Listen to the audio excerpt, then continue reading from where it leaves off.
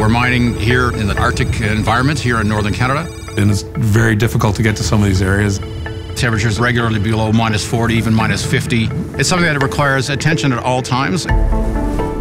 We're completely isolated from any electrical source, 100% off the grid. We rely on our own power here. We need to ensure that we can predict failures. If one of those power stations goes down, it becomes dire quite rapidly. 50 below, if they don't have power, they don't have heat, they don't have any way to stay alive, really. Caterpillar's really been innovating for decades.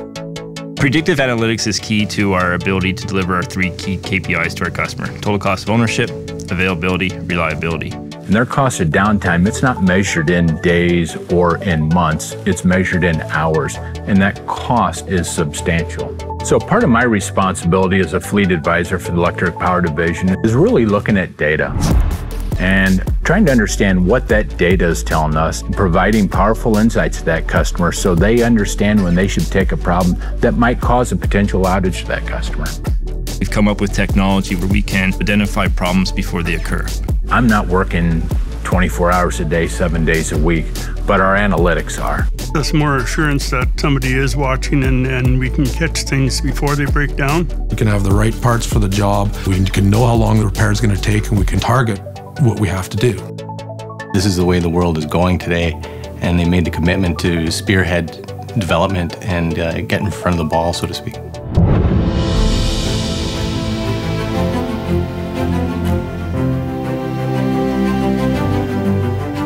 At Caterpillar, we're really looking at a multitude of technologies, whether it's artificial intelligence, analytics, machine learning, augmented reality, virtual reality, and being able to look at a product on, on an engineer's desk while a technician's on site looking at the physical product, allowing them to collaborate through remote troubleshooting. The outcome is a much better quality of work. Having an opportunity to work with international partners that are globally recognized, such as De Beers and Caterpillar, has allowed us to develop solutions for our customers that were not heard of three years ago. So these opportunities with high frequency data allows us predictive analytics that are second to none in the industry. The real message is, is we're not standing still. We're moving forward, we're continuing to innovate and look forward to the future.